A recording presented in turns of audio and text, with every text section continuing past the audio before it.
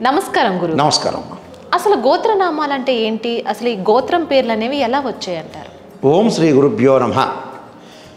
సహసిద్ధంగా మన శివపార్వతుల కళ్యాణం కానీ సీతారాముల కళ్యాణం కానీ శ్రీ వల్లీ దేవసైన సమిత సుబ్రహ్మణ్య స్వామి యొక్క కళ్యాణం కానీ అలానే భద్రకాళి వీరభద్రస్వామి యొక్క కళ్యాణం కానీ అలా రమాసహిత వీరవెంకట సత్యనారాయణ స్వామి యొక్క కళ్యాణం కానీ లక్ష్మీ నరసింహస్వామి యొక్క కళ్యాణం కానీ.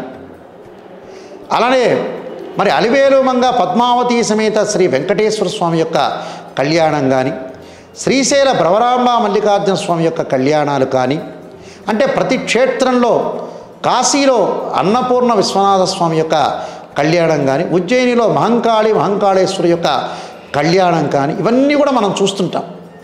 వీళ్ళ యొక్క గోత్రపరులు ఏ విధంగా ఉన్నాయి? ప్రజల యొక్క గోత్రపరులు ఎలా ఎలా ఉన్నాయని చూస్తే కొంతమందికి ఋషులు ఉంటారు ఆంగేరస భారస్పత్య భారద్వాజ త్రయార్షయ ప్రవరాన్వితని శాండిల్స్ గోత్రమని వశిష్ఠ గోత్రమని హరితస గోత్రమని అలానే కౌండిన్స గోత్రమని ఇలాంటి విశ్వామిత్ర గోత్రమని ఇక్కడ సప్త ఋషులకు సంబంధించిన గోత్రాలనే ఉంటాయి.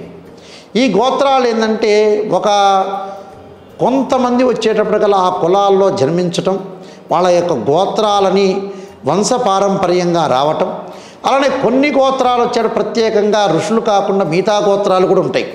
ఆ మిగతా గోత్రాలు కూడా వాళ్ళ పూర్వీకుల యొక్క గోత్రాలు దాని వెంబడి వచ్చే అవకాశాలు ఎక్కువగా ఉంటాయి. అంటే వాళ్ళు కూడా ఒక మహామునులే. ఆ మహామునులు వీళ్ళొక సప్త ఋషుల్లో మహామునులు అయితే మిగతా వాళ్ళందరూ కూడా కొంతమంది మహామునుల పేర్లు రెండు మూడు పేర్లుగా ఉన్నాయి. అలాంటి పేర్లు గల వాళ్ళు కూడా గోత్రాలు వాళ్ళ వంశపారంపర్యంగా వచ్చిన గోత్రాలు కూడా ఉన్నాయి.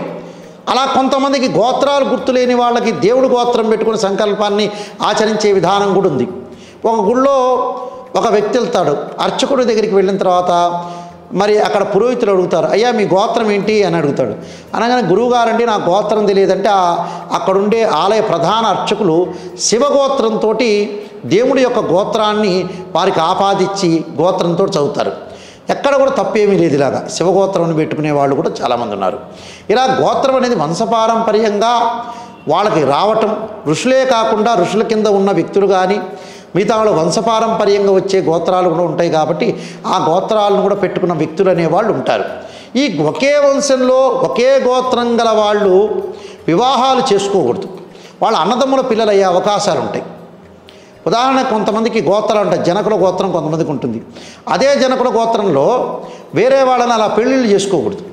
వాళ్ళ అన్నదమ్ములు అయ్యే అవకాశాలు ఉంటాయి. అందువల్ల అక్కడ అన్నదమ్ములు భారద్వాజ గోత్రం కానీ కౌండిన్స గోత్రం కానీ రకరకాల గోత్రాలు ఉంటాయి.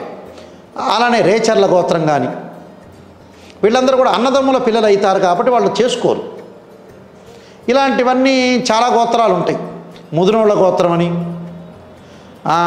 చాలా గోత్రాల్లో ఏం చేస్తారంటే కలకంటి గోత్రం అని ఇలాంటి గోత్రాలు ఉంటాయి. వీళ్ళు ఏంటంటే వంశపారంపర్యంగా ఎక్కడో ఒక ఒక గురువుని ఆశ్రయించి ఆ గురువు ద్వారా ఈ గోత్రం వచ్చి ఉంటుంది ఓకే. రేచర్లా ఉందనుకోండి ఉదాహరణకి. ఎక్కడో ఒక గురువు ఉంటాడు. ఒక సిద్ధహస్తుడు సిద్ధ పురుషుడు ఉంటాడు. ఆ పురుషుడు రేచర్లా ఏదో పేరు వచ్చి ఉంటుంది ఆ సందర్భం ఏదో రేవంత్ కాస్త రేచర్లా ఇలా మారి వచ్చి ఉంటుంది అలాంటి గోత్రాలు ఏంటంటే సిద్ధహస్తులది సిద్ధ పురుషుల యొక్క గోత్రాలే మన ఇండియాలో ఉన్న గోత్రాలు. కొంతమందికి ఋషులు సిద్ధ పురుషులు రకరకాలుగా గోత్రాలు వస్తాయి. మిథునకుల గోత్రం ఉంటుంది పెండ్లికుల గోత్రం ఉంటుంది. ఇలాంటి రకరకాల గోత్రాలు కూడా వాళ్ళ యొక్క సిద్ధ పురుషుల యొక్క వాళ్ళ పేర్లు పురాతన రోజుల్లో. అలాంటి పేర్లు వాళ్ళ కింద ఉండేవాళ్ళు ఏదో గురువులు ఆశ్రయించి పాత రోజుల్లో ఒరే నువ్వు మిథునకుల అని భగవంతుడిలాగా మహాముని ఆలోచన చేసి పేర్లు పెట్టినవి అవన్నీ కూడా. అంటే వాళ్ళ మన ఆ మృషుల యొక్క ఆలోచనలో ఏర్పడినవే ఈ గోత్రాలు.